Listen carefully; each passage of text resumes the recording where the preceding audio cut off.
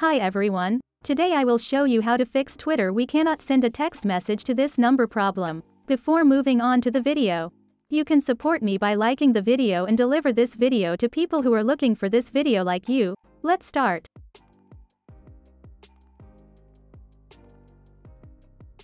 Before we move on to our solutions, we check if Twitter is up to date.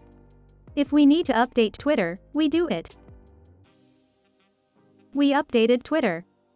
Our first solution is to completely delete Twitter and reinstall it. To do this, we click on Settings. Then we click on Apps and then we click on Manage Apps. We type Twitter in the search bar. Click on Storage. Click on Clear Data.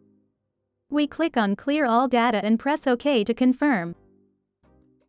We cleaned Twitter's data. Now, we will remove Twitter.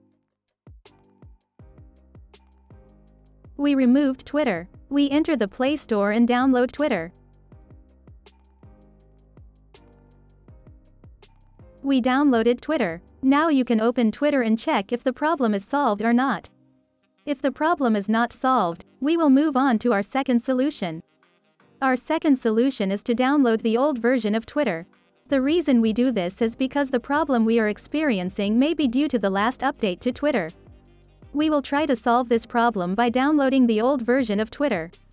We remove up-to-date Twitter before downloading the old version.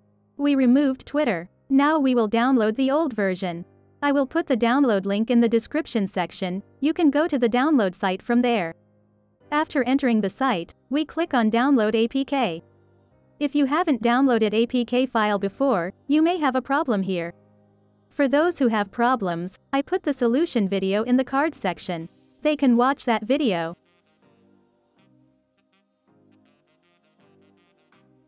We downloaded our file. Now we will install Twitter.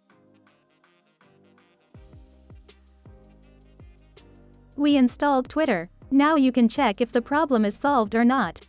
If the problem is not solved, we will move on to our third solution.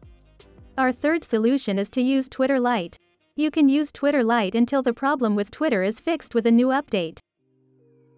Before ending the video, there is one last alternative solution that I would like to mention. You can try to turn off SMS verification by logging into your Twitter account from Twitter Web. To do this, we open our browser and type Twitter Web or Twitter Login. Then we open the Twitter login page in the Incognito tab.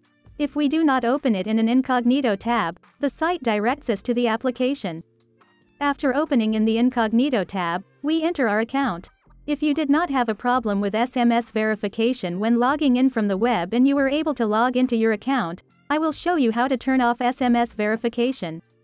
To do this, we click on Settings and Support. Click on Settings and Privacy.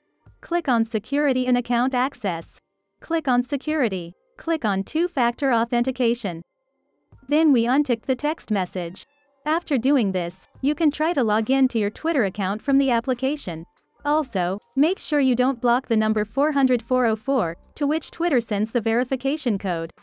If you have blocked this number, you will not be able to receive verification codes from Twitter. We have come to the end of the video.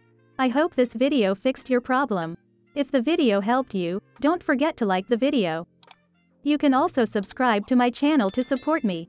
Take care, and see you in the next video.